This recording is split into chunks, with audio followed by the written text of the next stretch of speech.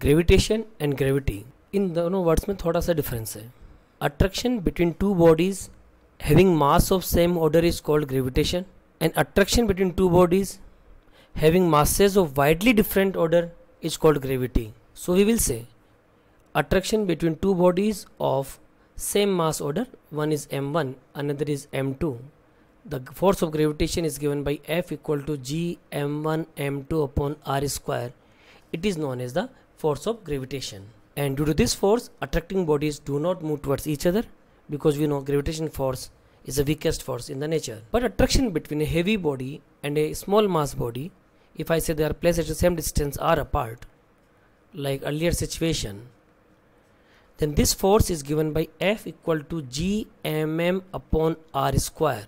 Of course one body is lighter another body is heavier. So due to this force the lighter body will move towards the heavier body.